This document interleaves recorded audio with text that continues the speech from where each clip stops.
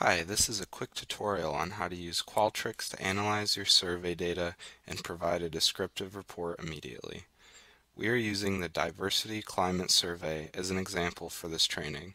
This anonymous survey examines individuals' perceptions of the on-campus diversity climate and their experiences in a variety of areas related to diversity and campus climate.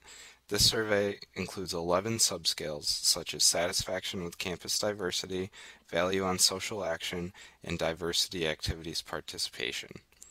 Click into the survey and go to Data Analysis. There is some important information on this page.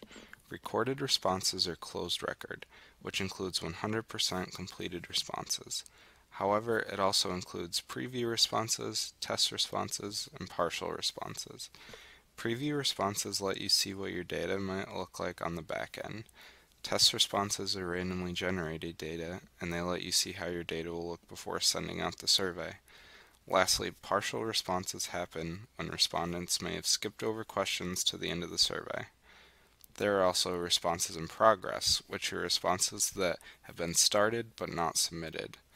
Responses in progress become recorded responses when a survey expires or is manually closed. The finish column shows the status of the respondent survey. True means completed and false means partial.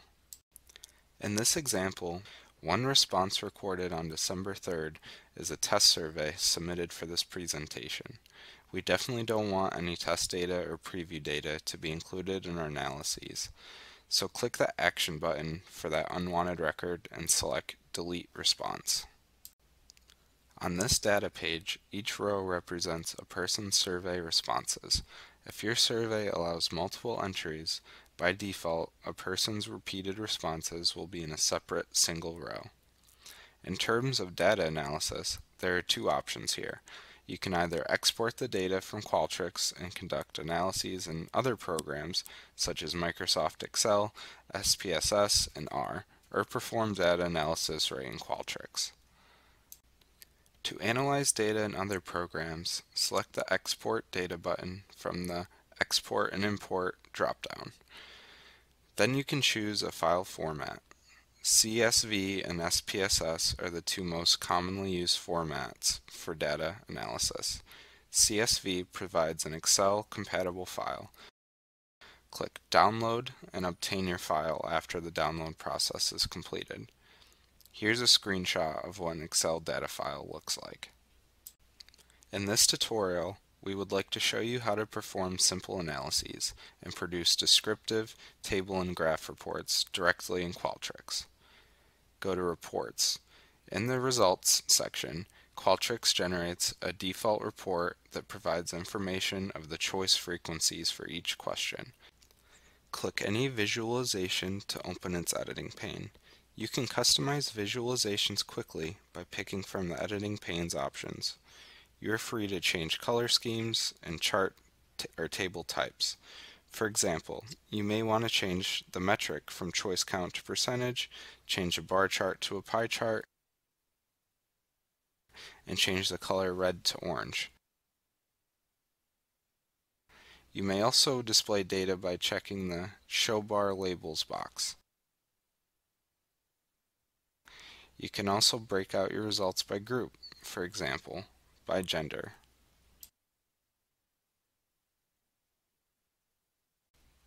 The filtering option can help you screen out the data that you don't need at the moment. You can create your conditional statements by clicking Add Filter. For example, you might want to focus on female participants. Select the demographic question 14.2, select a choice, select operator, and pick an operator. Here we choose is and pick your operand. The value here we choose 2, female, and apply it to the conditional statement. Now the filter we just created changed the visualizations. You can export a single visualization by selecting the question item. Choose Page Options, Export Page As, and then select the desired format. If you don't want to show all of the questions on the report, instead you just want to show part of the survey results, you can hide questions that you don't want to display in the report. Go to the left on the pane and uncheck the box for those unwanted questions. If you don't like some of the displays on the report, for example, you just want to show the bar chart, not a statistics description table, you can click the three dots on the top right, and then select Remove Visualization. If you want to write a short paragraph to describe the results and help stakeholders interpret the data, you can click Add Note and type in your descriptions. After you modify your report, you can share a results report. Go to Share Report. There are many ways to share your report, such as generating a digital copy in a PDF, Word, or PowerPoint format. Or you can share your report with a web link by selecting Manage Public Report. A public report is dynamic, interactive, and updates in real time. Any changes to the Qualtrics report are posted immediately and can be viewed via the link. Choose Public Report Available, you can add an access code, which allows only a certain group of people to view the report. Copy the link and click Done. If you would like to conduct multivariate analyses that are beyond describing frequencies and row percentages, you can use the Crosstabs page under Data and Analyses. Again, take the Diversity Climate Survey as an example. You may want to perform chi-squared analyses to see whether there is a relationship between years of affiliation with the institution and their self-reported ability to see the world from someone else's perspective. You can drag Q91, how long have you been affiliated with the institution, into columns in the variable Q1.3, ability to see the world from someone else's perspective, into rows. Then select total count, counts, and column percentages.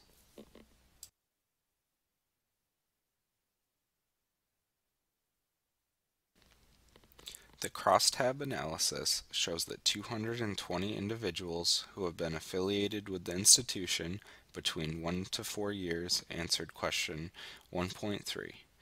41.8% reported that they had a major strength and the ability to see the world from someone else's perspective. Then we can also perform a chi-squared test in Qualtrics to test the significance of the group differences. Select Overall Stat Test of Percentages a p-value is calculated in Qualtrics. The p-value here it shows that the self-ratings on the ability to see the world from someone else's perspective are on average statistically different for the affiliation year group at a significance level of p less than 0.05. You can also create nesting columns to have one set of variables splitting another. For example, we would like to see a breakdown of gender nested under affiliation year. Instead of having male and female and six affiliation year categories separately, you get 12 aggregated columns. We just need to drag the variable Q14.2 sex identification under the variable Q91 year of affiliation. Then the results are updated. One thing should be noted is that in the crosstab, the variables are not always presented in the correct order. For example, in question 2, less than 6 months option should be presented first before the choice at least 6 months but less than 1 year. To reorder the choices, we click the setting icon of the variable in the banner window. Choose the choice you want to move and drag it to the right place, then click Save.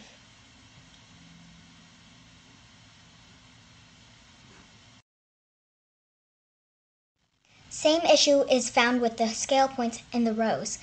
We click the setting icon of the scale variable in the stubs window. Drag the selected scale point to the correct place, then save.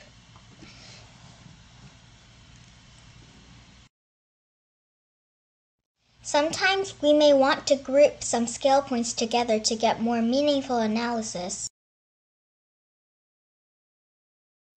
For example, we can combine major strength and somewhat strong and major weakness and somewhat weakness together by using the bucketing feature in Qualtrics.